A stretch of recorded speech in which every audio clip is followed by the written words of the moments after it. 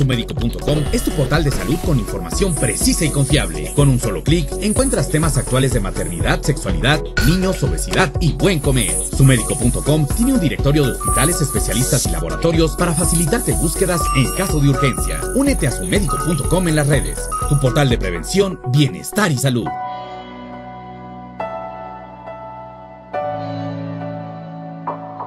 La palabra bullying es un vocablo que significa acoso y que en México se usa principalmente para referirse al acoso escolar, un problema psicosocial que ha evolucionado por décadas. Pero en los hechos, ¿cómo se manifiesta el bullying? Bueno, el bullying eh, tiene que ver con una relación de desigualdad en donde hay una víctima y alguien que está abusando de, esta, de esta víctima. Entonces tendría que ver con una situación de indefensión, de desequilibrio, en donde hay un fuerte y un débil.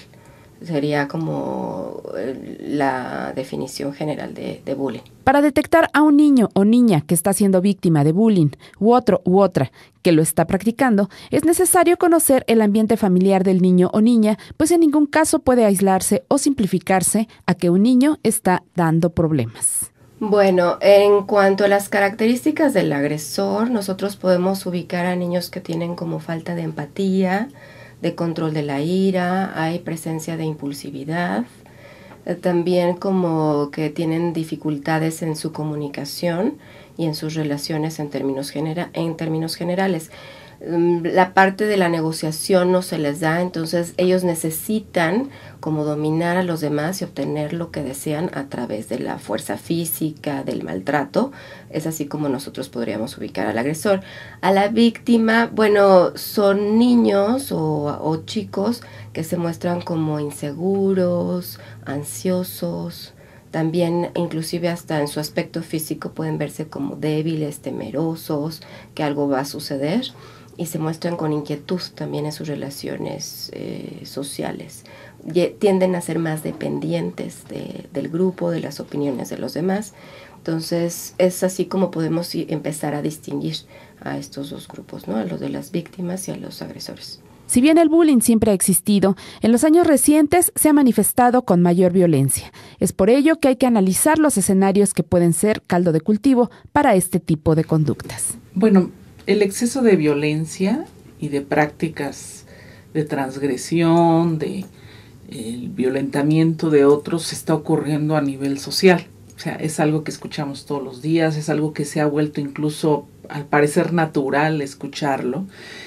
Y de ahí parte de la necesidad de pensarlo, porque esto no es normal, no es natural.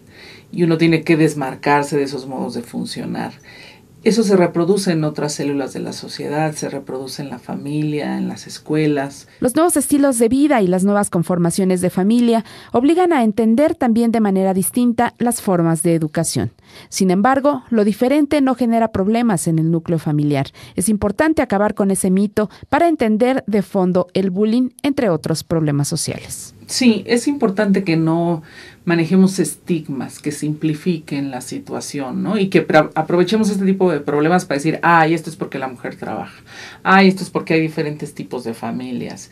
Entonces, los diferentes son los causantes de todo tipo de descomposición es importante que también reflexionemos sobre este tipo de juicios y veamos que esto tiene que ver con una realidad más global, más social y sí con prácticas íntimas personales, pero que también tienen que ver con una falta de estructura, que eso puede acontecer en cualquier familia o escuela.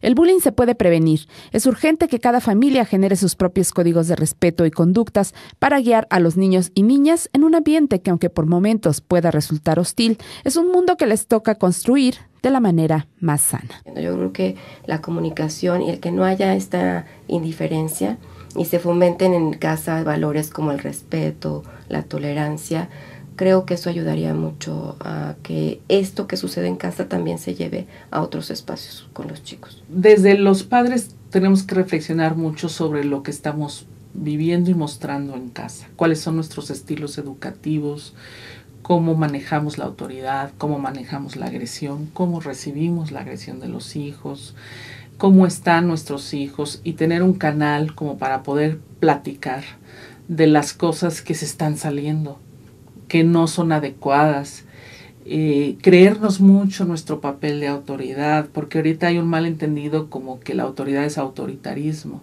y la autoridad es un marco en donde le da seguridad al niño moverse. Tenemos que tener acciones que hagan que el niño sienta la seguridad la autoestima para defenderse, para hablar, para platicar lo que le está sucediendo. Y una manera es eso, decir, esto está pasando, ni lo apoyes en otros, ni lo toleres en ti, tienes lugares a donde acudir en casa, en la escuela, es importante que estén muy explícitos los lugares, que se hagan espacios en casa, en la escuela, para hablar y para pensar sobre esto.